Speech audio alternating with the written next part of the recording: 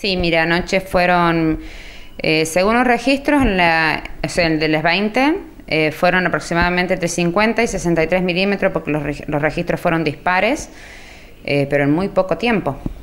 Eso fue lo que nos hizo traer algunos problemas, ¿no? Como consecuencia de la acumulación de agua, principalmente lo que es el cuadrante Barrio Sur. Si tomamos el cuadrante formado por IDE y eh, y Ricardo Risati, ¿no es cierto?, al suroeste. Eh, principalmente, bueno, fueron en las calles Corona al fondo, eh, Gabriela Mistral, que es un desagüe muy grande y la verdad que esa calle iba completa, completa. Y bueno, en, ciertas ocasiones cuando la casa está más baja hacía que centrar el agua, se acumular el agua en el patio. nosotros concurrimos a un par de domicilios eh, uno, que vamos a poner una bomba, bueno, que el, vecino ya había conseguido en el momento en que nosotros llegamos. Y lo otro fue colaborar con la parte de tránsito para cortar algunas calles, em, que eran principalmente, bueno, aparte de las del barrio sur, también tenemos eh, lo que es esquina mm, eh, Monseñor Muguerza y Libertador General San Martín, que esa esquina siempre es complicada, y las calles adyacentes. Eh, también en Italia mm, sería en Italia contra Intendente Lorenzo Gómez, eh, hasta Julio Roca, en esa cuadra también había mm, eh, gran acumulación de agua. pero bueno, se trabajó con los chicos recorriendo solamente dos dotaciones, cinco bomberos, hasta que bajaron las aguas, ¿no? Por la acción de los, de los desagües. Eh, ¿Tuvieron que hacer eh, limpieza de algunos desagües, algunas alcantarillas, generalmente trae basura o rama?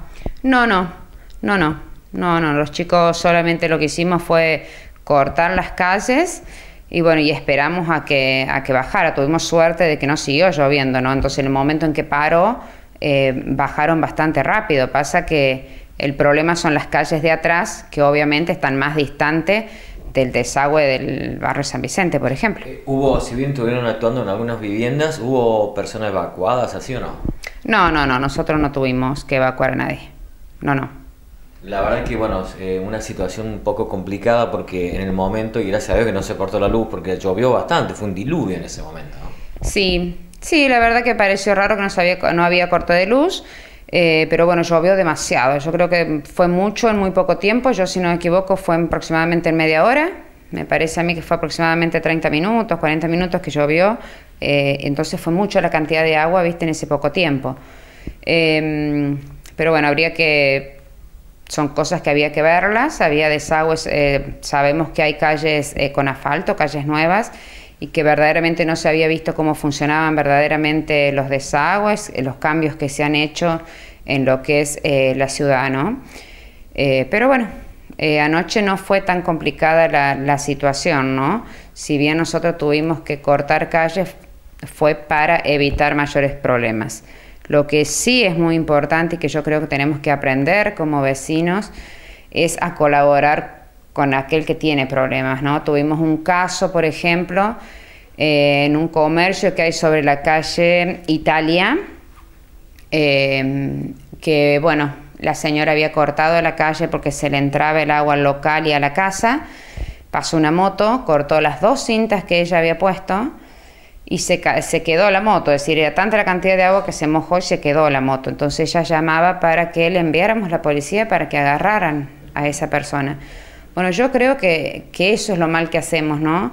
Como vecinos eh, cortamos la cinta, pasamos por donde no deberíamos pasar. Yo creo que en ese momento es donde debemos colaborar sobre todo eh, los vehículos de mayor porte o andar a gran velocidad, que eso hace el oleaje y que entre a las viviendas, ¿no? Yo creo que es un poco colaborar entre todos también. Sí, en casi Cipriano Morelli esta mañana hubo un mensaje en la radio donde justamente hablaba de eso, ¿no? Que en pleno diluvio se ha puesto una cinta, pasó un tractor y camiones, eh, digamos camiones de comercio, así que llevan mercadería, pero bueno, hicieron caso omiso a todo, ¿no? Sí, sí, te cortan todo, es decir, la gente no tiene respeto por el otro, ¿no? Y bueno, y también en ese momento que terminamos con la, con la parte de inundación, tuvimos eh, también otra salida, pero fue un incendio. En una vivienda, un principio de incendio en un eh, portón eléctrico.